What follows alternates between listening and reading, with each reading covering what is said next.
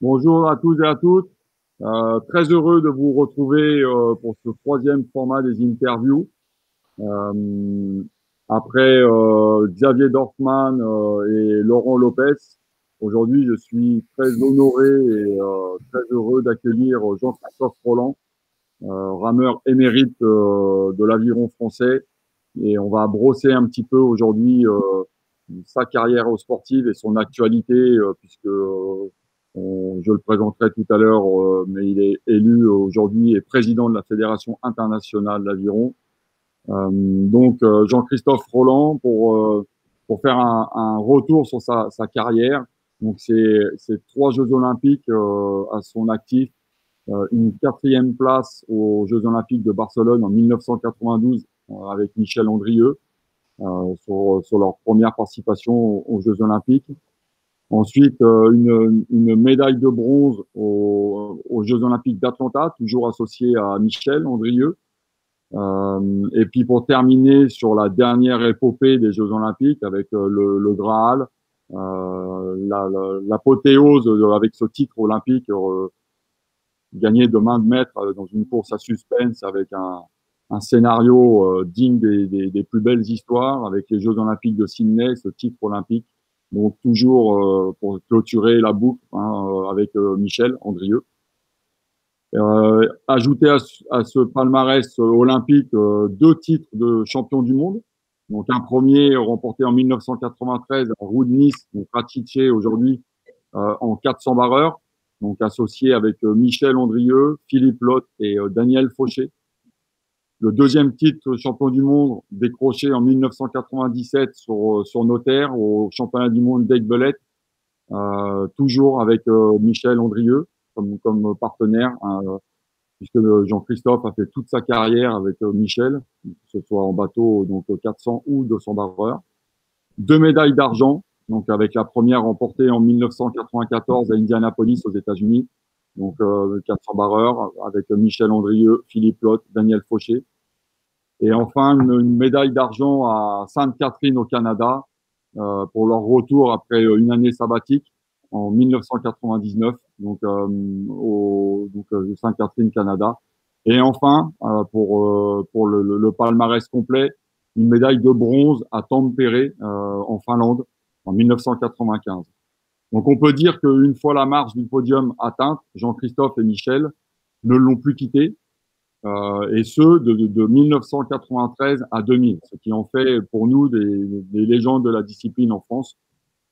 Donc euh, leur carrière a été euh, a été saluée et récompensée en, en 2019, donc euh, très récemment au CNOSF lors de la soirée des, des, la soirée des gloires du sport. Donc je suis très, comme je le répète, très honoré et, et, et heureux d'accueillir de, Jean-Christophe, avec lequel nous allons euh, donc brosser un petit peu euh, les différentes périodes de, de l'après-carrière de Jean-Christophe. Euh, donc euh, ça part de Lyon, ça finit à Lausanne, et, mais entre-temps, il y a eu un passage à Londres. Donc je vais, je vais te poser la première question, Jean-Christophe. Tout d'abord, bonjour à tout le monde. Bonjour à tous. Donc la première question, Jean-Christophe, donc après ce retour en chiffre sur ta carrière, si tu devais retenir deux moments, ce seraient lesquels et pourquoi? Bonjour à tous et déjà de vous dire mon, mon plaisir d'échanger avec vous et avec toi Yvan sur, euh, sur, euh, bah, sur le passé et puis, euh, et puis, et puis sur, sur, cette, sur cette longue carrière. Retenir deux moments, c'est forcément très difficile.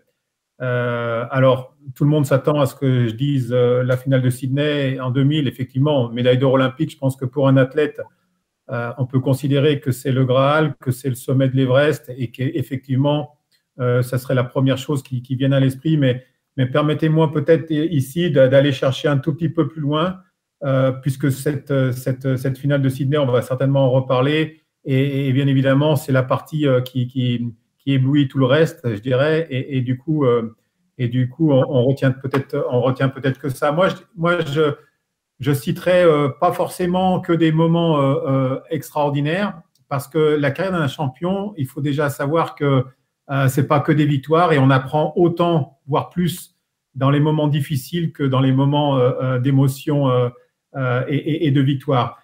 Alors, moi, je vais, je, vais, je vais, déjà dire une chose, euh, c'est que euh, pour moi, l'aviron, c'est un, c'est bien sûr une passion, c'est le sport, c'est la compétition, c'est les trois composantes physiques, techniques, mentales, euh, c'est tout ça, mais c'est aussi l'ambiance dans le club. Et c'est pour ça que je retiendrai dans l'un de ces moments, c'est la victoire en 8 en 94 avec Bolette. Et, ça a été extraordinaire parce que c'était vraiment une équipe de, de, de, de 8, 8, copains euh, qui sont allés chercher euh, qui sont allés chercher un titre de champion de France en 8 alors que euh, l'Ancou à l'époque le, 8 de l'encouragement avec avec de nombreux internationaux bah, étaient forcément les, favoris et les tenants du titre il me semble. Et on est allé les chercher avec une course extraordinaire où on se sublime. On va chercher ce que ce que ce qu'on est on a l'impression qu'on n'est pas capable d'aller chercher. Et moi j'ai vraiment ressenti cette communauté cette avec, mes, mes, mes, potes du club et ça a été extraordinaire, extraordinaire. Euh, donc 94 en 8 à, à, avec Belette, euh, un titre de champion de France. Et puis, euh, bien sûr, après, on a, on a eu d'autres titres avec ce, ce 8, mais, mais c'était le, le premier, il me semble, en 94. Euh, puis, les, puis les autres, c'est toutes ces épreuves qu'on a passées avec, avec Michel. Et, je pense aussi au, moment où on est revenu, parce que c'est vrai qu'après les Jeux d'Atlanta, on, on, est tous les deux voulu euh, continuer sur, euh, sur les championnats du monde de 97 parce qu'ils avaient lieu en France et que, et que normalement un athlète arrête sa carrière après les Jeux, mais, mais, mais, mais avoir les championnats du monde dans son propre pays, c'est quand même extraordinaire. Donc on avait poursuivi sur 97. Et puis moi j'avais annoncé que je mettais un terme à ma carrière à ce moment-là. Alors, alors que, que, Michel lui avait déjà annoncé qu'il prenait une année sabbatique et qu'il reviendrait à, en, en, 99. Et le retour de 99 a été quand même assez, assez mouvementé euh, parce que bien évidemment, euh, euh, on ne nous attendait pas forcément, on n'avait pas de passe droit, ça c'est clair, il n'y avait pas de souci avec ça. Mais du coup, on a, on, a quand même, on a quand même confirmé et, je dirais qu'on est allé chercher une belle médaille d'argent à Sainte-Catherine au Canada. Donc voilà, euh, s'il fallait, euh, euh, j'ai été un peu long, mais, mais, mais c'est difficile de, résumer à deux moments précis. Il y en a eu tellement, mais voilà les deux que je, que je citerai, en plus du titre de Sydney, évidemment. Mais c'est super parce que c'est vrai que tout le monde pouvait s'attendre à ce que tu parles effectivement du Graal et du, du titre olympique, mais c'est, je trouve ça, je trouve ça top que tu puisses partir sur sur l'événement, sur l'événement et le titre de champion de France avec avec le club, avec les copains, parce que c'est c'est des valeurs qui sont fortes, qui nous sont chères et, euh, et donc c'est ça marque vraiment, là aujourd'hui, euh, comme tu regardes dans le rétroviseur, bah, souvent c'est ce qu'on dit un petit peu les anciens, c'est que les médailles c'est bien, ça compte, c'est tout, mais ça finit dans des cartons et dans des boîtes. Et ce qui compte et ce qui reste surtout, c'est les souvenirs, c'est euh, tout le côté humain qu'il y a, parce que c'est quand même beaucoup, euh, beaucoup de partage euh, tous les jours, euh, etc. Donc c'est un très bel exemple et, et un très bel hommage pour les copains qui ont partagé le titre avec toi pour le coup. Absolument, très, très, très bon moment. Et pour la, pour la petite histoire, il y, avait, il y avait aussi à ce moment-là mes deux frères dans le, dans le bateau, donc ça a été aussi une histoire de famille. Voilà, pour ce qui rajoute, Donc, ma, deuxième question, ça serait euh, qu'est-ce qui t'a guidé, euh, enfin, qu'est-ce qui vous, ce qui vous a guidé, parce que je vais t'associer tout le temps avec Michel, hein, pour le coup, euh, vu la carrière et les bateaux, mais qu'est-ce qui, qu'est-ce qui t'a guidé pour croire que la performance était était à votre portée? Au moment où on parle des années 91-92 hein, Bon, alors déjà, euh, bon, avec, avec Michel, mais pas qu'avec Michel, je pense qu'on était un groupe, une génération euh, bah d'athlètes euh, qui, qui, a, qui a vraiment investi dans, dans, le travail, euh, qui a cru dans le programme. Il faut savoir que euh, jusque-là, pour être très honnête, euh, et c'est pas faire offense à, tous nos prédécesseurs, mais euh, l'aviron français n'était pas forcément euh, euh, aux, avant-postes au niveau international. Et, et, et, la fin des années 80, d'une place, une place en finale pour, pour, pour un équipage français, c'était considéré pratiquement comme un exploit. Et, et c'est vrai que nous, on est arrivés, les jeunes, à ce moment-là, et, il y a eu ce basculement euh, de la fédération avec, avec l'arrivée euh, d'un entraîneur des équipes de France ou d'un head coach, euh, directeur de la performance, vous l'appelez comme vous voulez, qui, a apporté, qui a apporté un programme et, et, auquel ben, on, on, s'y est tous attelés. Et finalement, voilà, on a construit, on a construit tous ensemble. Et, je dirais que à la fin, c'est le fruit de, cet investissement, de la conjonction entre, entre des athlètes bah, qui croient au sens où qui font, qui font le programme, qui ne se cachent pas derrière, derrière leur petit doigt quand, quand les conditions ne le permettent pas, ou qui, voilà, qui donnent, qui, qui, s'investissent euh, et, avec un programme qui tient la route, et ben, et ben, ça, a amené à, ça a amené à toute l'histoire que l'on connaît.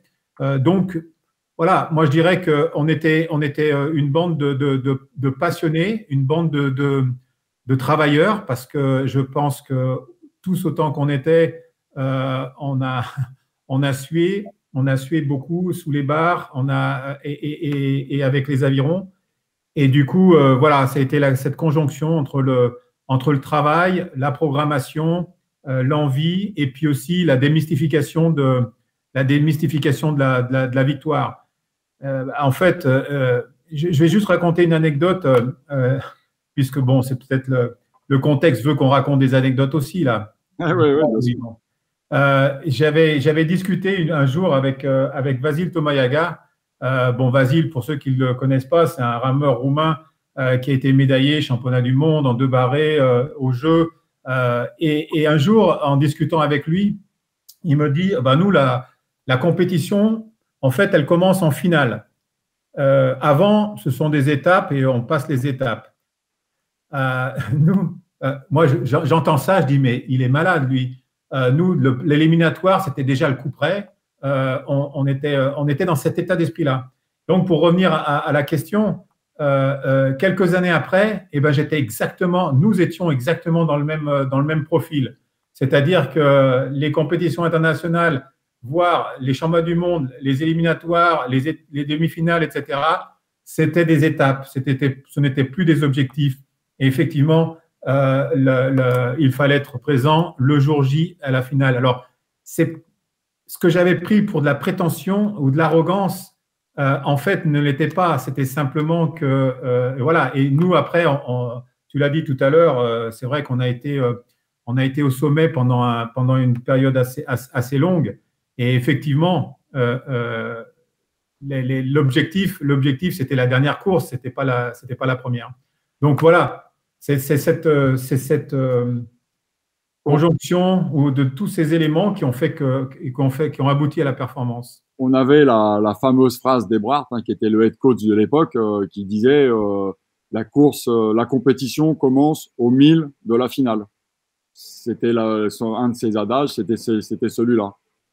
C'est là où on voit voilà, ceux qui vont chercher la, médaille ou ceux qui, n'y vont pas, mais bon, effectivement.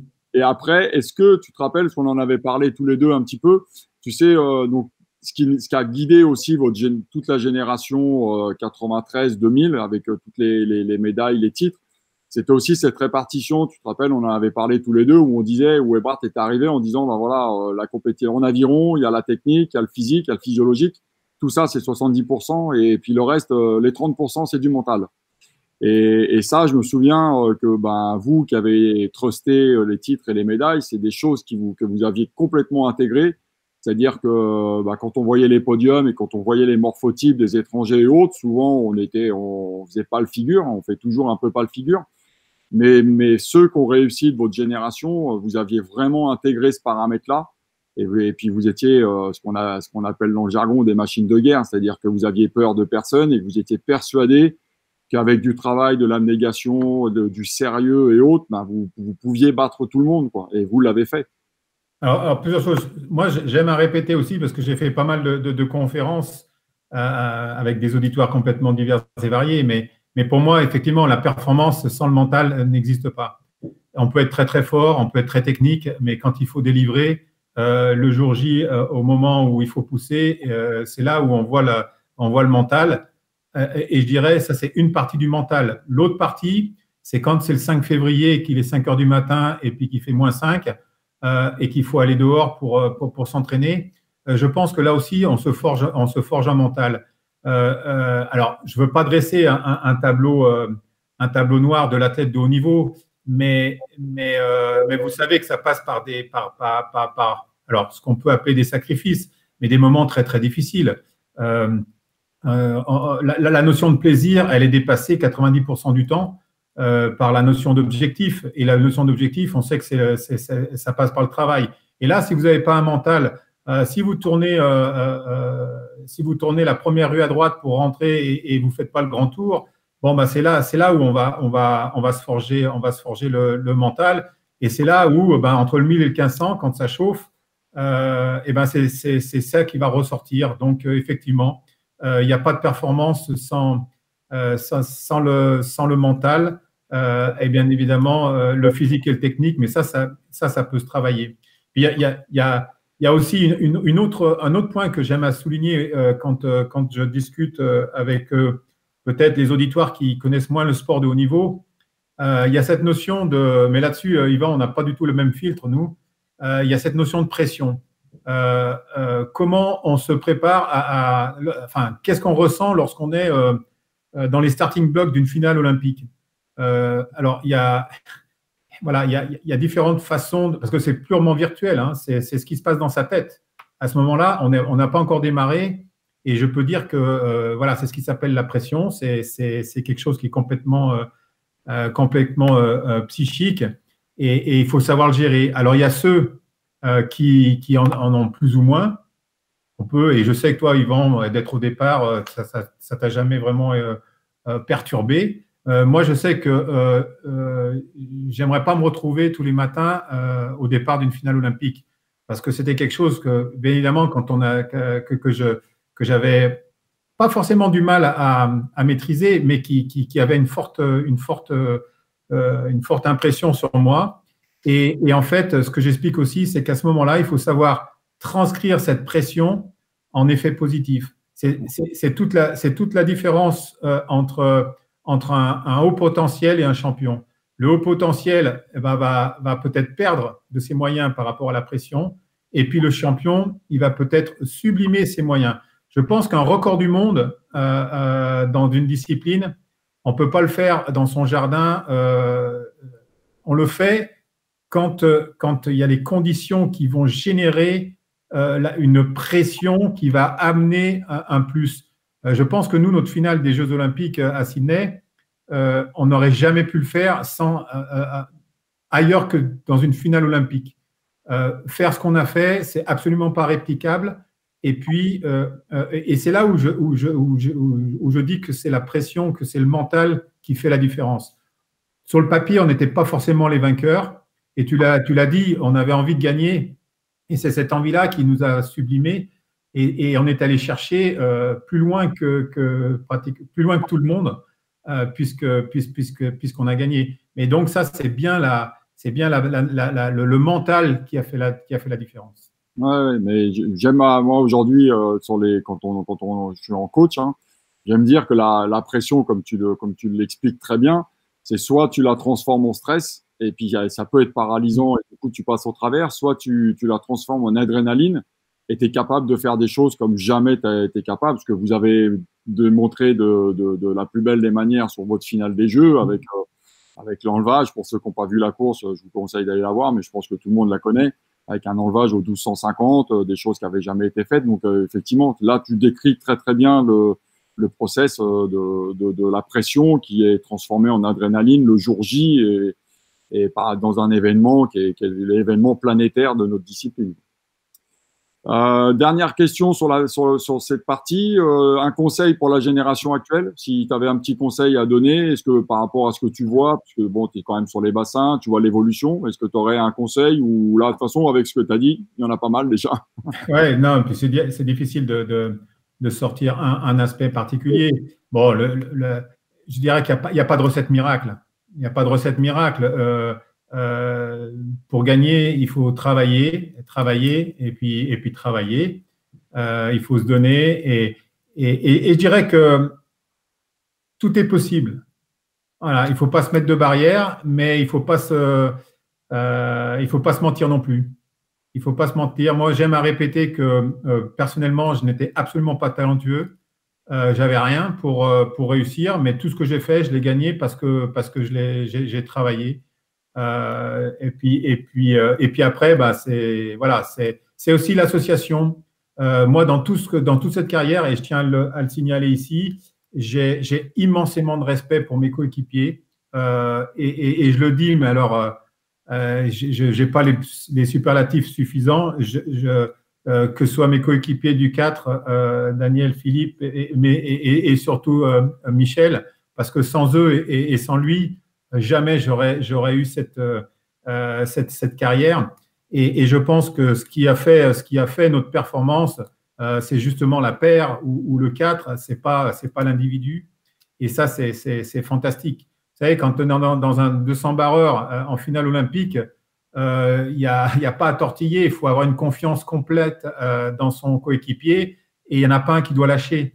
Donc, j'ai immensément de, respect pour, pour, Michel et avec qui ben, on, a, on a passé quand même euh, de, longues années, de longues années et, et, et, on était complémentaires et on était, euh, euh, voilà, on était très respectueux l'un de l'autre et c'est ce qui a fait que c'est ce qui a fait que, qu'on a eu ce, cette, cette, cette, carrière et, et, et ce palmarès et, et, je l'en suis très, très, très, très reconnaissant. Moi, je terminerai juste là-dessus. Là, c'est une anecdote et tu me confirmeras parce que c'était dans le bateau pour, pour nous l'avoir conté. Euh, médaille de bronze en 95 à, à Tempéré. Donc euh, JC était malade la veille de la de la course. Je me souviens, mmh. tu étais sorti de bateau avec la médaille. Tu nous avais dit, tu nous as dit, les gars, moi j'ai fait la course dans le noir. Je n'ai fait qu'écouter Michel. Je savais pas où j'étais, je savais pas ce qu'il fallait faire. J'ai fait que l'écouter. J'ai débranché et c'est tout ce que j'ai fait. Voilà, ça décrit exactement ce que tu viens de dire sur la confiance euh, aveugle et, euh, et euh, l'apport que vous aviez l'un envers l'autre. Hein, si... Absolument. Et puis, et puis encore une fois, euh, une carrière est faite de haut et de bas. Et je peux vous dire que il n'y a pas que des hauts. Hein. quand on s'arrête en haut du sommet, c'est fabuleux, mais, mais on, on, en a bavé. Et ce que j'ai admiré et puis ce que je, ce que je retiendrai aussi, c'est que, c'est que dans les bas, c'est là où on se rend compte euh, de la cohésion. Euh, c'est toujours, et ça a été le cas avec Michel, euh, celui qui est le, le, le, le, plus, le plus positif qui, traîne, qui, qui entraîne l'autre. Donc, et ça, on a eu chacun nos, nos, nos, difficultés. Il y a eu des courses, il y a eu des moments où, vraiment on s'est posé des questions. Hein. Et, chaque fois, c'était celui qui était euh, voilà, qui était le mieux dans sa tête, qui, qui, l'autre. Euh, et voilà, c'est aussi ce qui fait, euh, ce qui fait la, la, la cohésion et la force, et la force d'un groupe. Ok, super, Jean-Christophe. Donc, on va passer maintenant sur donc l'après-carrière, juste après les, donc les, les, les, Jeux de Sydney. Donc là, tu, tu bascules professionnellement à Londres. Hein, vous, vous, allez, vous allez habiter avec, avec ta femme et, et tes, enfants, enfin ton enfant, je, crois qu'avec eux, euh, il me semble. Ouais, les trois déjà. Il y a les trois, bon voilà. Euh, donc vous, vous passez euh, à Londres. Donc comment s'est passée ton intégration chez nos amis britanniques et qu'est-ce que tu en as ressorti, Alors avant, juste pour parler de l'après-carrière, je pense qu'il y a un point qui est, qui qui fondamental dans, dans, la alors comment dire dans la réussite de, de, de, l'après-carrière, c'est c'est la continuité ou l'accompagnement. Euh, je m'explique.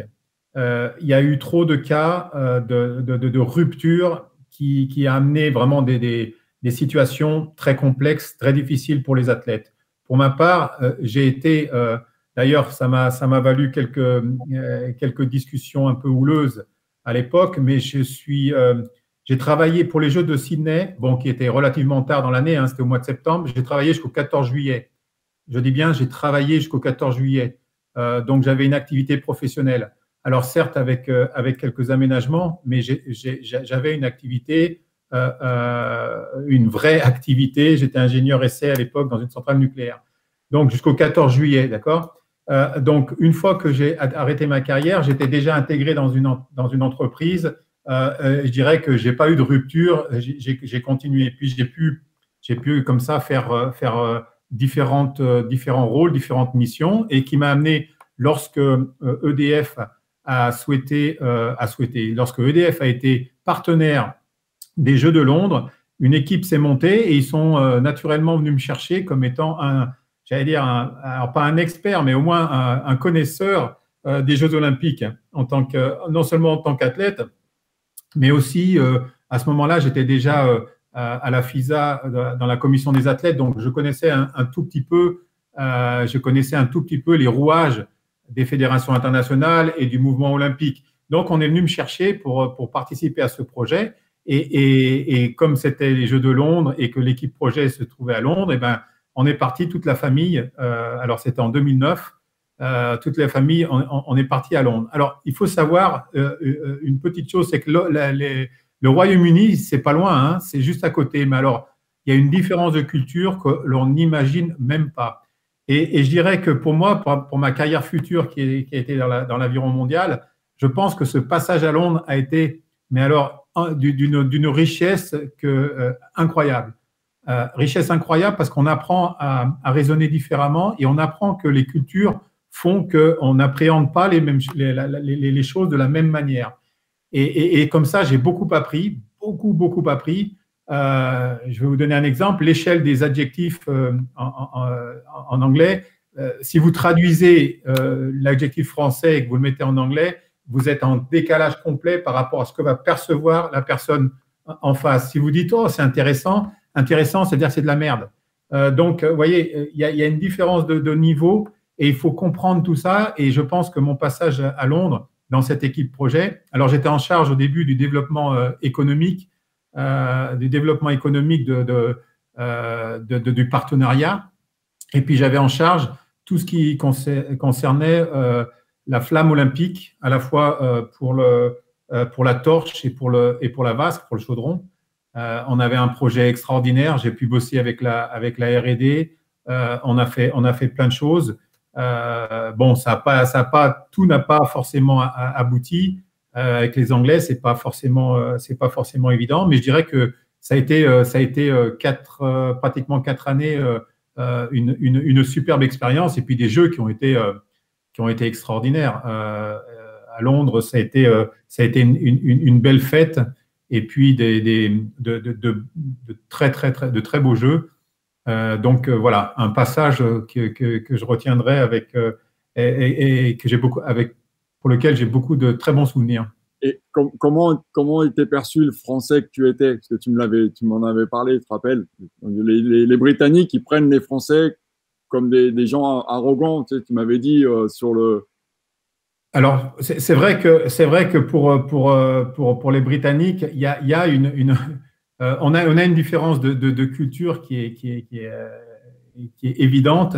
Et du coup, euh, c'est beaucoup plus beaucoup plus difficile qu'on ne pense parce que parce qu'il y a cette alors je vais pas parler d'animosité hein, mais bon c'est quand même c'est quand même, et on le retrouve aussi dans d'autres dans d'autres sports avec le crunch, etc. Il y a quand même une rivalité, euh, une rivalité euh, euh, très très forte entre entre entre les Français entre les Français et les Anglais. Donc du coup, bien évidemment, il faut savoir se faire se faire comprendre. Il faut savoir aussi interpréter et, et, bien et, bien comprendre parce que la, communication c'est quelque chose de c'est quelque chose de clé euh, et, si on ne se comprend pas, évidemment, euh, on on peut pas avancer. Hmm. Ok, bah super.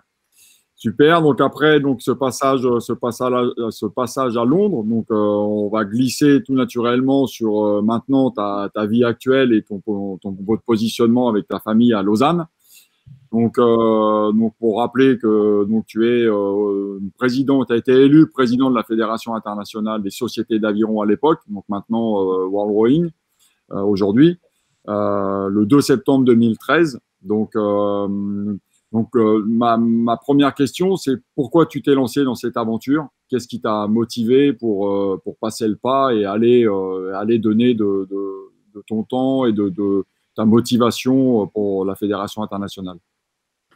Alors, je vais, dire quelque chose qui va peut-être être, être bizarre, mais je n'ai jamais euh, eu de plan de carrière euh, dans le sport euh, au sens, euh, euh, au sens d'engagement dans, le, dans, dans, l'activité autre qu'athlète. Mais, et ça, ça remonte à très loin, je voulais de toute façon m'impliquer au niveau de mon sport pour au moins rendre à ce que je considère que, que, le sport m'a apporté. Parce que franchement, le sport et en particulier l'aviron, c'est toute une partie de ma vie Et je pense que je suis aujourd'hui tel que je me suis construit grâce à l'aviron, grâce au club, grâce à mes coéquipiers, grâce à, ce sport qui m'a qui, qui a permis de me, de, de me développer. Et quand je dis ça, pas uniquement dans l'aspect physique, mais aussi en, en, tant que personne.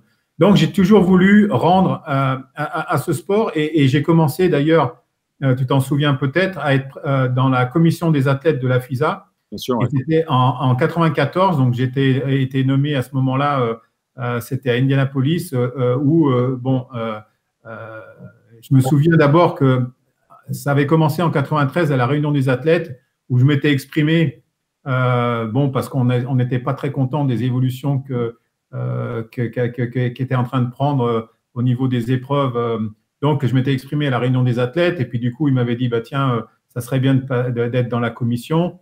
Et puis, voilà, comme ça, j'ai été dans la commission des athlètes jusqu'en 2002, où à l'époque, on m'a dit, bah, ça serait bien que tu sois président de la commission des athlètes. Alors moi, j'étais pas forcément au départ, euh, c'était pas mon, mon, objectif. Et finalement, bon, j'ai été élu président de la commission des athlètes. Et en 2004, et il manquait, enfin, du moins, en 2004, il y avait une, opportunité dans la commission exécutive de, la FISA, puisque le président de la commission des athlètes est membre du conseil, mais au-dessus du conseil, il y a un comité exécutif. Et du coup, en 2004, euh, ils, ont souhaité euh, que je. Enfin, et puis j'ai été, euh, j'ai été élu au comité, au comité exécutif. Et puis là, petit à petit, bon, c'est vrai que j'étais assez proche de Denis Oswald, le président de l'époque, et qui lui avait des euh, euh, souhaitait euh, que la, que, la, Fédération internationale poursuive en étant entre, entre bonnes mains. Donc, il a, il a, il a essayé d'anticiper son, son après, l'après, son après présidence. Et puis un jour, en discutant, il m'a dit, il m'a demandé si je voulais être, si, si ça m'intéressait de me lancer dans cette dans cette, dans cette voie. Et franchement, euh, euh, loin de moi l'idée à ce moment-là. Et, ma réponse avait été non, non. Euh, D'abord, euh, j'ai pas les compétences euh, et, et j'estimais que j'étais pas capable. Donc, donc j'avais, j'avais, j'avais dit non. Puis il m'avait dit bah réfléchis-y, etc. Puis tout ça, ça a mûri. Je vais faire court une, une longue histoire. Et puis, et puis 2000, 2011, 2012, voilà, ça devient un peu plus il annonce que, qu'il va, va, va laisser la place. Et puis du coup, euh, après avoir consulté, après avoir consulté un, certain nombre de, personnes dans mon entourage et euh, chose très importante, mon employeur, parce que être président d'une fédération internationale, ça impose quand même un certain nombre de, contraintes. Euh, je ne pouvais pas y aller sans, sans, en, discuter avec mon employeur. Donc tout ça a fait que je me suis lancé quand tous les, signaux étaient ouverts. Et puis là, il y a eu euh, la fameuse élection à, à euh, lors des, après les championnats du monde de, 2013. Euh, et on était trois candidats. Et puis bon, si, peux faire court, mais, mais juste pour raconter que finalement, j'étais pas forcément favori. Le petit français, le petit jeune ingénieur de surcroît. donc moi, évidemment, si je fais mon SWAT, donc si je, regarde mes forces, faiblesses, et, puis euh, euh, j'étais pas forcément le meilleur des communicants. J'avais en face de moi deux avocats, euh, une canadienne et un australien, donc qui s'expriment dans leur langue euh, et, qui, ont l'habitude de, communiquer, de faire des plaidoyers, etc. Donc, quand on passe au grand oral devant l'ensemble des délégués et, qu'on s'exprime, évidemment, on part avec un certain handicap. Mais en fait, euh, j'ai fait de son handicap une force. Euh, et finalement, euh, quand on y regarde bien, il, y a très, peu. Il y a, il y a, une, grande, une grande partie des fédérations membres ne s'expriment pas en anglais. Et je pense que je, il y a beaucoup plus de délégués qui me comprennent moi que qui comprennent les, les, Anglais quand ils parlent. Donc, donc finalement, d'une, j'allais dire d'une, d'une faiblesse, c'est devenu une force. Et puis, et puis voilà, j'ai fait une campagne euh, je me souviens que la veille au soir de l'élection, euh, euh, j'avais mes, parce qu'une élection, ça se gagne pas tout seul, hein, c'est une équipe. Et j'avais des signaux comme quoi c'était c'était mort parce que tout le clan hispanique s'était reporté sur un autre candidat. donc voilà. Alors j'avais j'avais certains autour de moi dont l'émotion, bon, ça montait très vite dans les, tours. Et puis c'est vrai que moi là-dessus, j'étais très très serein.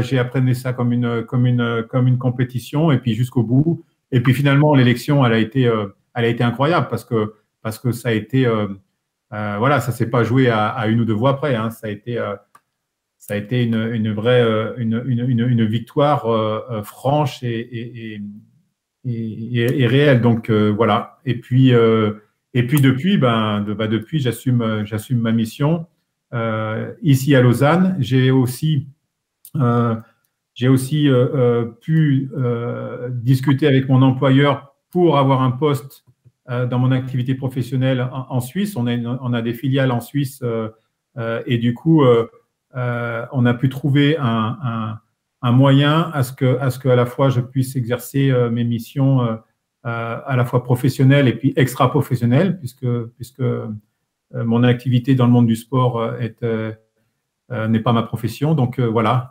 c'est une situation qui pour moi est, exceptionnelle parce que je peux, je peux consacrer et m'organiser pour, pour assumer toutes mes missions et puis, sachant qu'une fois qu'on est président, on a d'autres missions euh, euh, en plus euh, qui, qui, viennent se greffer. Ouais, c'était, la, ma question qui, qui suivait, c'est-à-dire que en fait, ton, ton, poste de président, ce n'est pas ton métier. Tu es toujours chez EDF Helvétique et tu as ton, ton temps plein. Alors certes, avec avec en gestion, je pense de ton de ton de tes missions euh, comme tu le bon, comme comme tu veux les, comme tu comme tu le souhaites, pardon. Mais, mais par contre, c'est bien euh, ta mission, enfin ton métier, c'est toujours à EDF et président de fédération, c'est à côté. Absolument. Pour, les gens Absolument. Alors, alors pour être pour être très honnête, hein, après euh, une journée c'est 24 heures, une semaine c'est c'est pas 5 jours mais 7 jours. Les 35 heures on les fait du lundi matin au mardi soir. Mais, mais, euh, mais voilà, non, j'exagère. Ce que je veux dire, c'est que je m'organise. Oui, c'est ça. Euh, euh, j'ai une flexibilité, une autonomie qui fait que voilà, je peux assumer toutes mes missions. Alors, comme à l'époque où j'étais athlète, hein, voilà, il faut pas. Il faut pas avoir peur de, de mouiller la chemise, euh, il faut pas compter ses heures, mais je pense que quand on est dans, une, dans ce genre de mission euh, bah, c'est pas les heures, c'est la passion qui parle, la passion, l'envie. On a la chance, et, je peux vous dire que, parce que pour connaître maintenant, euh, j'ai quelques années derrière moi, pour connaître le monde du sport, pour connaître les, les, les, les autres fédérations euh, et, et, le mouvement olympique et les organisations sportives, je pense qu'on a un sport qui est, qui est, qui est fabuleux, non, non seulement par rapport au sport, mais par rapport à l'environnement du sport. C'est-à-dire que nos valeurs, elles ne sont pas uniquement dans le bateau, elles sont aussi en dehors du bateau. J'ai la chance d'avoir un comité exécutif et un conseil de personnes, mais alors euh, extraordinaires, je peux le dire. Nous, on ne se tape pas dessus, même si on n'est pas d'accord sur tout. On, a, on a cette, euh, euh, parce qu'on est tous rameurs, on a, on a, on a, on n'a pas d'ordre du jour personnel. On est là pour le sport, pour les sportifs, pour les athlètes. Alors, on prend des coups on prend des coups hein, parce que c'est pas facile tous les jours. Il se passe des choses dans le monde du sport qui font que c'est pas facile. Euh, je pourrais je pourrais écrire un, bouquin ou alors euh, plusieurs bouquins et des tomes euh, pour expliquer tout ça. Mais mais en tous les cas, moi je suis reconnaissant que dans notre sport il y a il y a de belles personnes et, et, des personnes qui donnent pour le sport, pas pour qui sont pas là pour eux, qui sont pas là pour pour pour encore une fois un agenda personnel, mais vraiment pour, euh, pour donner au sport. Et, pour moi, j'allais dire la, reconnaissance, la, la, meilleure des reconnaissances, c'est lorsque je suis sur les bassins et que, et que même si un athlète n'y connaît rien au niveau des organisations, euh, c'est de m'assurer que bah, les athlètes ils aient les, les conditions pour, euh, pour pouvoir performer. Ils ne se rendent pas forcément compte de ce qu'il y a derrière, parce que quand on est athlète, eh ben, on voit les bouées et puis le ponton. Euh, on ne sait pas ce qui se passe euh, euh, au tout autour, mais je peux vous dire que je peux vous dire qu'il y a un boulot qui est énorme, énorme, et, toujours, et encore une fois, c'est notre ADN dans l'aviron, et toujours pour les athlètes. Ouais, je, peux confirmer pour être un petit peu de temps en temps à tes côtés sur, en, tant, que pilote de catamaran pour les télés, c'est vrai que c'est une sacrée organisation. L'équipe est, top et, et, ça se sent. Enfin, encore une fois, on parle des valeurs de notre discipline, mais aujourd'hui, bah, on est c'est tous des anciens rameurs et c'est vrai que ces valeurs elles sont elles sont véritablement ancrées et dans, dans la vie de tous les jours donc ça construit euh, ça nous construit en tant qu'hommes et femmes et c'est c'est c'est top euh, qu'est-ce que tu peux nous dire sur les enjeux de nos, les enjeux de notre discipline euh, sur la scène mondiale sportive pour l'aviron concernant du coup l'aviron? Puisque là maintenant euh, bah, typiquement on va dire c'est ma mission première. C'est quoi ma mission en tant que président de l'aviron mondial? C'est de m'assurer que les athlètes de demain, mais plus que les athlètes de demain, les athlètes d'après-demain puissent continuer à pratiquer l'aviron et, dans, dans, les meilleures conditions. Ça veut dire quoi? Ça veut dire que je dois m'assurer que les décisions qu'on prend aujourd'hui euh, assurent un avenir pérenne à notre sport dans 10, 15, 20 ans. Et je peux vous dire que les décisions qu'on prend aujourd'hui auront des impacts dans les 10, 15, 20 prochaines années. Donc pour moi, il y a une chose qui est, très importante, euh, c'est qu'il faut assurer cette pérennité et, surtout dans le mouvement olympique. Donc, c'est quoi les enjeux aujourd'hui? C'est qu'on est dans un monde euh, du sport qui est ultra compétitif, ultra compétitif. Euh, vous ne pouvez imaginer le nombre de sports qui existent, le nombre d'événements ou de, compétitions internationales qu'il y a dans le monde. donc, tout ça fait que ça devient, c'est une compétition qui est, très forte. Et en plus de ça, euh, euh, euh, avec un environnement qui est de plus en plus difficile. Même s'il y a de plus en plus d'argent dans le sport, cet argent, il est attiré sur un nombre réduit de disciplines ou de sports et, et, ça, va, ça va plutôt dans, dans, dans, dans le même sens et, et, ça continue. Donc, voilà, moi, les enjeux, c'est de, de m'assurer que l'aviron reste un sport olympique et, ne croyez pas qu'on peut s'appuyer uniquement sur notre passé, sur notre histoire pour assurer notre futur, il faut aussi s'adapter. Et j'ai toute la difficulté euh, de faire comprendre, faire comprendre qu'il faut s'adapter et qu'il faut être un tout petit peu flexible. Euh, les enjeux, les challenges, les défis de, l'aviron, euh, voilà, je dois les partager avec les fédérations membres et je dois amener nos fédérations à prendre ces décisions très importantes pour, le, pour le futur, pour s'assurer que on sera encore euh, euh, aux Jeux Olympiques euh, en 2028, ça c'est clair. En 2032, c'est pratiquement clair, mais aussi après. Et, si vous connaissez un tout petit peu l'environnement du mouvement olympique, il y a une pression qui est très très forte. Pression parce que c'est le plus gros événement au monde. Donc, il y a des contraintes de ressources, il y a des contraintes financières, il y a des contraintes techniques. Et euh, il y a eu une période euh, récente où euh, les candidatures aux Jeux Olympiques eh ben, n'étaient pas très, très nombreuses, voire on en manquait. Et tout ça parce qu'il y avait un contexte de méfiance et de défiance vis-à-vis de l'organisation des Jeux Olympiques. Bon, ça, c'est en train de changer avec, avec les réformes qui ont lieu au niveau du mouvement olympique. Et ce qu'il faut absolument, c'est que nous, l'aviron, on soit partie intégrante de ces réformes et qu'on s'adapte aussi nous, euh, pour assurer notre, notre pérennité au sein, de, au sein du mouvement olympique.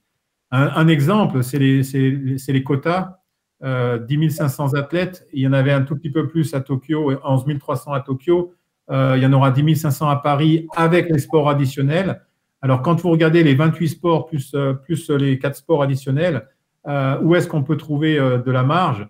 Euh, c'est pas forcément au, pentathlon moderne où ils sont juste 70, euh, mais c'est plus dans les, ceux qui sont en haut de la liste et qui n'ont pas de tournoi. Donc, euh, on, est, forcément sous pression. Comme vous le savez, on était 526, on était 550 à Rio, 526 à, Tokyo et on, se, on sera 502 à Paris. Donc, il faut revoir notre organisation, revoir notre, notre plan de qualification, euh, et tout ça avec les pressions que vous connaissez euh, de par les autres sports et de par la vitrine, la vitrine des Jeux Olympiques, qui, je le rappelle, ne sont pas un événement qui nous appartient. On participe, euh, on a la chance de faire partie de, du mouvement olympique et du programme olympique, mais ce n'est pas, notre, événement Et du coup, il faut aussi comprendre les enjeux et les difficultés et, faire évoluer notre programme pour s'assurer notre pérennité. Et cette bataille, du coup, tu la, donc tu la livres en tant que président de fédération internationale, mais aussi, et donc là, euh, là pour, pour rappel, pour les gens qui nous, qui nous écoutent, tu as été élu membre du comité international olympique euh, à Lima en septembre 2017. Donc, du coup, tu, tu rentres dans le cercle très fermé, euh, parce que tu es, le troisième Français membre du CIO, après Guy Drut et Tony Estanguet. Euh, donc, ça veut dire que tu te rapproches effectivement des, je vais pas dire des décisions, mais en tout cas des discussions euh, sur le sujet euh, que tu viens d'évoquer, à savoir le nombre de places qui, bah, qui diminue hein, pour notre discipline. C'est c'est certain hein, quand on voit aujourd'hui que là, on est, donc tu, tu viens de l'indiquer, 526 à Tokyo, on sera 502 donc à, à Paris. Donc il faut, il faut, il faudra enlever 24 rameurs et rameuses. Donc forcément, ça va faire des déçus, ça va grincer des dents. Mais n'empêche que, euh, si je me trompe, l'aviron, c'est la troisième discipline olympique en nombre de représentants sur les 10 500 athlètes aux Jeux. Hein. C'est bien ça, hein, Christophe? Alors, euh, On est troisième, on est passé quatrième juste derrière l'UCI, derrière le cyclisme. Euh, juste, on vient juste de passer quatrième en, perdant nos, 20, nos, 24, nos 24 places. Mais effectivement, voilà, tout l'enjeu, tout l'enjeu, c'est de construire avec le CIO eh ben, une une relation euh, euh, positive. Et, ça, je pense avoir, euh, avoir eu cette, cette opportunité-là au, cours des années de pouvoir engager à, la fois avec le président du CIO, mais aussi avec, avec la partie administrative, notamment la, direction des Jeux olympiques et la direction des sports, des relations très très proches de confiance et de travail qui nous permettent vraiment de, d'aborder les choses de manière, euh, de manière euh, toujours euh, constructive. Donc ça, ça se décrète pas, ça se, ça se travaille, j'allais dire, pratiquement au jour le jour. et, et, bien sûr, bien sûr ça, ça, ça, nécessite, ça nécessite de, de, s'engager, de s'engager auprès de toutes, auprès de toutes ces réformes. on pourrait parler des heures, mais vous savez que pour les Jeux de Tokyo, ça a été un chemin de croix pour pouvoir euh, assurer que, nos athlètes puissent, euh, concourir à, Tokyo avec, les conditions que vous connaissez. Euh, et avant de parler de Tokyo, je peux vous dire qu'on a eu des, situations et des moments très, très difficiles à prendre des, responsabilités sur, la, les décisions de, maintenir les, compétitions de qualification pour les Jeux. on a eu des pressions énormes. Euh, il faut savoir qu'il y a des enjeux, euh, bien évidemment, euh, très importants pour tout le monde. Donc aujourd'hui, si, si, si, vous voulez connaître un, créneau très porteur pour l'avenir, c'est être avocat dans le monde du sport, parce qu'il y a une judiciarisation qui est, qui est, qui est terrible. La moindre, là, on, si vous voulez, on établit des règles, mais, mais, tout de suite, on, est attaqué parce que voilà, parce que ça, euh, parce que parce que tout le monde n'est pas forcément très très très très content. Euh, mais en tous les cas, encore une fois, notre notre ligne de conduite, c'est pour les athlètes. Et, attention, je vais juste préciser une chose parce qu'on parle de, de, futur et, et, on parle d'athlètes. Vous savez très bien que, enfin, moi, je me considère toujours, je devrais plus, hein, mais comme un athlète. Euh, et, et du coup, je me sens très, très proche. Et, c'est pour ça que j'aime bien aussi euh, bah, communiquer et être, et être auprès des athlètes. Juste une petite précision, quand je dis, euh, ça c'est important, quand je dis qu'on est euh, athlète oriented ou athlète focus, c'est-à-dire qu'on on, on, raisonne toujours par rapport aux athlètes, ça je peux le, je peux le garantir que c'est absolument notre credo. Mais attention, ce n'est pas forcément aux athlètes uniquement d'aujourd'hui, mais de demain et après-demain. Je vais vous donner un, rapide exemple parce qu'on reçoit, bien évidemment, euh, vous pouvez vous imaginer, euh, des, plaintes et des, commentaires euh, acerbes dans les réseaux sociaux par moment, parce que soi-disant que ben, on prend pas les bonnes décisions ou parce que parce que parce que finalement on, se fout des athlètes. je vais juste donner un exemple. À Londres, on a reçu après Londres, on a reçu une lettre très très vindicative d'un athlète qui, a, qui, blâmait la fédération en disant si vous aviez, si vous étiez, comme vous le dites, intéressé que par l'athlète, à Londres, au lieu de, on, aurait couru à 6 heures du matin et, comme ça, les conditions étaient extraordinaires. Et là, j'ai répondu à cet athlète que si on avait voulu tuer, tuer l'aviron, effectivement, on aurait couru à 6 heures du matin. Parce que je peux vous dire que des Jeux Olympiques, c'est une, euh, les, spectateurs à Londres avaient en moyenne 3 heures pour arriver au bassin. Les premiers, trains étaient à 4h30, donc on ne pouvait pas commencer à 6 heures. Donc on aurait fait des courses sans spectateurs. Euh, OBS, qui est l'Olympic Broadcasting euh, Service, qui diffuse les images euh, des Jeux, n'aurait pas diffusé l'aviron. Donc, je peux vous dire qu'une décision de courir à 6 heures du matin à Londres, l'aviron aurait été exclu immédiatement des Jeux dès, Rio. Donc, donc, si vous voulez, quand je dis qu'on est, on est orienté athlète, il faut vraiment avoir la, big picture, hein, euh, l'image euh, complète et non pas regardée par un, par un, petit bout de la lorgnette. Euh, donc pour moi, c'est absolument important et on essaye de communiquer avec les athlètes qui ne comprennent pas forcément toujours nos décisions, mais on est obligé. On a eu des difficultés aussi et, j'ai été en crise pendant, enfin en mode crise à Linz par exemple sur des décisions par rapport à nos règles. Dans nos règles, on peut les faire évoluer, mais on ne peut les faire évoluer que de manière très très précise et les règles, elles sont applicables, même si ça touche euh, euh, les uns ou les autres dans un, dans un sens ou dans l'autre. Moi, demain, euh, si, ou, à Linz, si on avait pris des décisions simplement sur l'émotion, parce que, ah bah oui, effectivement, le vent s'est levé, et puis donc, du coup, on va changer le. Eh ben, eh ben, le lendemain, on serait au tribunal. Et les tribunaux, ils ne regardent que l'application des règles, et on aurait, perdu. Donc, tout ça pour dire que, euh, voilà, euh, être orienté athlète, c'est aussi être respectueux euh, des règles et c'est être aussi respectueux des athlètes de demain ou, de, ou pour être sûr que demain, il y ait toujours des athlètes qui puissent pratiquer notre sport.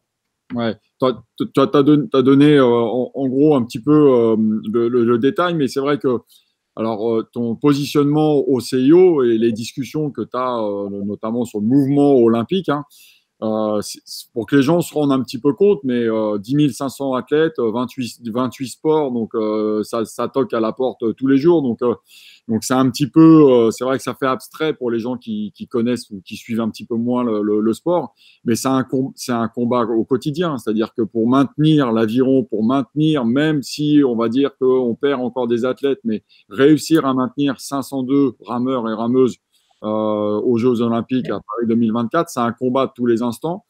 Que euh, les, tous les sports, euh, après chaque Jeux Olympiques, c'est épluché plus plus entre ce que ça coûte, les, les, retransmissions, les, enfin voilà, c'est le genre de, enfin c'est le genre de choses que, le, que, les gens ne perçoivent pas, mais qui sont réelles.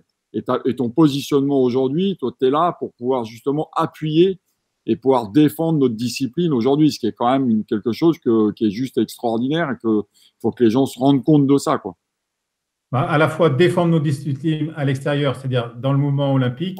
Alors ça, c'est absolument, c'est mon combat au quotidien, euh, encore une fois, et c'est mes relations avec le CIO qui font qu'on peut, on peut, euh, on peut regarder l'avenir avec, avec un certain optimisme, même s'il faut aussi contribuer et faire quelques sacrifices. Mais c'est aussi en interne moi, j'ai besoin de, je, dois expliquer à la fois à nos fédérations, euh, je dois leur donner la vision de ce que c'est que l'avenir et comment on peut progresser, euh, euh, comment on doit progresser dans ce dans ce monde encore une fois très très compétitif. Je veux dire, comprenez bien que les autres sports regardent l'aviron, regardent l'aviron et se disent mais attendez, mais 500 athlètes, vous êtes vous êtes combien dans le monde à pratiquer l'aviron? Vous êtes combien Donc tout ça, il faut comprendre qu'il y a une pression, euh, qui est, phénoménale. Il y a des sports qui ne sont pas olympiques, qui ont beaucoup plus de, licenciés dans, le monde. On a la chance d'avoir une belle histoire, on a la chance d'avoir un beau sport. On défend aussi euh, euh un, sport qui est, très télégénique, contrairement à ce que vous pouvez entendre ici ou là. il faut savoir que par rapport aux, aux diffusions télé, l'aviron a des très très bons scores aux Jeux Olympiques, euh, euh, on fait partie du, euh, du haut de la, fiche plutôt que, plutôt que du bas. il faut savoir qu'on a, quand même des, on a, on a quand même des atouts Donc, je ne vais, pas, je vais pas dire que. que, mais mais il, faut, il, faut quand même, il faut quand même se battre. D'où toutes les explications autour, par exemple, des enjeux sur les poids légers, d'où les explications sur l'enjeu sur le développement de l'aviron de mer, d'où la stratégie qu'on est en train de mettre en place sur l'ergomètre pour attirer aussi une autre communauté et puis élargir notre pyramide de gens connectés. Il faut savoir qu'aujourd'hui, euh, l'évaluation des sports, euh, bah, c'est par rapport à, quelle, audience vous, quelle audience vous avez. Et c'est vrai que on a des opportunités de, de, développement qui sont, qui sont incroyables. Encore faut-il prendre le train et, et, s'engager dans ces, dans ces voies. Alors, ce n'est pas, pas facile parce que parce que le monde autour de nous bouge à une vitesse incroyable euh, et, que si on, si on saute pas dans le, dans le train, ben on, risque de on risque de rester à quai. Et du coup euh, c'est tous ces enjeux là qu'il nous faut euh, donc je le disais à la fois à l'extérieur se battre et puis aussi à l'intérieur dans notre communauté faire à ce que les, les fédérations comprennent nos enjeux et nous fassent et nous fassent voilà évoluer vers euh, vers cette, ce, ce, développement ou cette vision qu'on a pour le futur. Pour, pour rester sur, euh, sur la campagne olympique, par exemple, 2028, pour que, par exemple, pour donner un, aperçu euh, sur bah, ce sur quoi on, doit aussi évoluer, c'est-à-dire que alors, je ne sais pas où en est le où est le dossier. Tu vas tu vas nous en dire un peu plus de détails, mais je crois que la distance de 2000, elle ne sera pas présente en 2028 à Los Angeles. Et après, il y avait une histoire de, de, de ligne d'eau ou de pont. Enfin, il y a, quand même, c'est quand même très compliqué de, de garder l'aviron en l'état. En tout cas, si, si on veut euh, rester euh, avec euh, un bassin de 2000, huit couloirs, comme dans le cahier des charges actuel des Jeux, l'aviron en 2028, on oublie, il n'y en a pas. On est d'accord. Il, faut savoir, dans, voilà, dans, dans ce contexte-là, il est clair que la, les, contraintes imposées à l'organisation des Jeux Olympiques sont, énormes.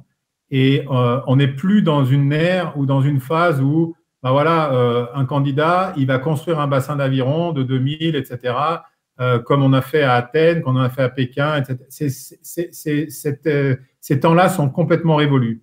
Et, il y a eu la nouvelle norme, il y a eu l'agenda 2020, les réformes pour assurer un avenir aux Jeux Olympiques. Et bien évidemment, on nous a demandé de la flexibilité et de l'adaptabilité. Il se trouve que dans le cahier des charges ou dans la candidature de Los Angeles, l'aviron euh, était prévu dans un lac, euh, euh, lac Paris, pour, ne pas le nommer, qui est à trois heures de, Los Angeles, donc complètement isolé, aucun, aucun, aucun, héritage puisque tout était temporaire pour les Jeux, donc des coûts, pas d'héritage, et puis, et puis on était en marge des Jeux Olympiques et on était plutôt un caillou dans la chaussure. Et être un caillou dans la chaussure par rapport à, d'autres membres du CIO qui nous attaquent, euh, c'est pas bon. Donc là, on, a, on, a, on est dans cette discussion et j'ai été très transparent puisque je l'ai annoncé déjà euh, à Berlin aux, membres, aux fédérations membres. Je l'ai annoncé très très tôt qu'on était dans ces, dans ces discussions-là et que finalement, euh, si on voulait être au cœur des jeux, on avait une option et on a travaillé sur une option depuis, depuis très longtemps qui était à Long Beach, c'est-à-dire sur le bassin d'aviron des Jeux de 1932. Mais entre-temps, ils ont construit un pont avec des piles qui ne nous permettent pas d'avoir euh, toutes les lignes d'eau. Euh, et puis, il y a des contraintes qui ont fait qu'on a eu beau tester tous les scénarios possibles. Finalement, le seul qui reste, c'est de réduire la distance en gardant les cylindres d'eau, mais à 1500 mètres pour pouvoir avoir un départ après les piles de pont. Donc, l'enjeu, il était là il était que est-ce que pour une édition des Jeux, eh ben finalement on s'adapte et, on sait on sait les valeurs fondamentales de notre sport. On a on a fait cet exercice-là quand j'ai été nommé président, euh, quand j'ai été élu président, pardon. Euh, on a fait un exercice sur euh, c'est quoi le le sport parce qu'on a toujours des sirènes qui nous disent mais mais mais aller sur 200 mètres en ville comme ça. Voilà, les, les jeunes aujourd'hui, ils aiment zapper, ils aiment pas voir l'élan. Alors, on a fait cet exercice en profondeur et effectivement, un point qui est ressorti, et là, tant que je serai président, croyez-moi que je, défendrai ça, euh, c'est qu'il faut que l'effort soit d'une certaine durée pour vraiment aller chercher un type d'effort qui soit atypique. Euh, l'aviron est reconnu euh, de par le monde du sport comme étant un des sports les plus difficiles. justement parce qu'on va dans une zone qui, est, qui, est, qui est un petit peu atypique et il y a très peu de sports qui sont dans cette zone-là. Donc, effectivement, le 2000 mètres, c'est pour pouvoir atteindre une, une, une, durée de compétition qui soit suffisante pour qu'on aille toucher cet effort-là. Donc, réduire un peu sur une des finales des Jeux Olympiques, c'est notre, c'est notre, négociation, notre marge de manœuvre pour, pour euh, être adaptable et, suffisamment flexible pour être au cœur des Jeux de Los Angeles, pour être euh, et, pour ne pas être un caillou dans la chaussure. Donc ça, c'est aussi très important parce que derrière, euh, lorsqu'on raisonne et qu'on est adaptable comme cela, euh, euh, euh, ça fait partie de la négociation pour éviter d'avoir encore une coupe sur les quotas. Je ne vous cache pas que c'est de c'est de la négociation. Oui, ok, président, je descends sur 1500 mètres, ça va réduire les, les contraintes pour le comité d'organisation de Los Angeles, mais il me faut nos athlètes, hein, parce que voilà, et puis, et puis, et puis on ne peut pas perdre sur tous les tableaux. Donc, j'ose espérer, ce n'est pas encore une décision parce qu'on attend les dernières validation euh, sur les conditions techniques euh, pour être sûr que le bassin est, conforme. Euh, mais, mais c'est ce vers quoi, et j'ai été très transparent, encore une fois, la décision n'est pas, n'est pas complètement arrêtée aujourd'hui, mais c'est ce vers quoi on se dirige pour, pour, pour exister, pour montrer que l'aviron s'adapte et pour, et, pour de donner toutes les chances de, pour le futur. Ok, bah, écoute, Jean-Christophe, on arrive à, notre heure d'interview. déjà Ouais, déjà, comme tu dis, ça, ça passe vite. Hein. Euh, un grand merci. Je suis vraiment très heureux. J'espère que les gens ont pu euh, apprécier euh, bah, tout le déroulé de, un, de ta carrière sportive et puis également la, suite et ce que tu donnes encore aujourd'hui à l'aviron au quotidien. j'espère que j'espère que les gens auront apprécié les différents retours et puis euh, et puis te souhaiter bah, plein de bonnes choses pour la suite euh, en te disant à bientôt. J'espère qu'on se verra nous à Plovdiv au championnat du monde euh, J18. Donc et puis bah, des bons Jeux Olympiques puisque je sais que tu vas être par Mose et par Vaux. Donc voilà, donc un, très très grand merci et puis et puis à très bientôt. Bah, merci à vous. C'était un plaisir de, de, partager ces, ces, moments et puis de se remémorer un petit peu. Puis j'espère que vous avez appris un tout petit peu sur, euh, sur euh, ce qu'est mon rôle. Là, je peux vous dire que on est dans les dernières euh, la dernière ligne droite pour Tokyo. ça va pas être ça va pas être simple entre le Covid, la chaleur, le vent et puis tout le reste. on, on s'apprête à avoir des moments des moments très très très difficiles. Et quand vous êtes quand vous êtes la, dans le dans, le processus de décision et que vous devez prendre des décisions qui parfois sont, sont, sont, difficiles, je m'attends à avoir euh, quelques, quelques, quelques moments à passer à, Tokyo qui vont pas être, pas être des plus simples, mais j'espère et, je suis sûr que euh, tout a été fait et on fera tout pour que au moins les athlètes euh, puissent concourir dans les meilleures conditions, même si elles ne sont pas ce qu'on aurait souhaité. en tous les cas, je peux vous dire que euh, euh, moi, j'ai beaucoup de reconnaissance dans tous ceux qui ont fait que euh, ces jeux aient pu, aient pu être, être décalés d'un an, parce que c'est tellement facile, la critique. Quand on ouvre les journaux, on voit tellement de critiques, c'est tellement facile. mais je peux vous dire qu'il y a derrière, pour construire, c'est énormément de travail. Et, tout ça, et tout ça pour nos athlètes. Et j'espère que vous pourrez suivre de, de, très beaux jeux à la télé ou derrière vos écrans. Euh, je pense que nos athlètes, euh, nos athlètes vont nous, vont nous, vont nous euh, proposer de très très belles courses. Merci et puis à bientôt. On sera derrière nos écrans. À bientôt. Salut Jean-Christophe.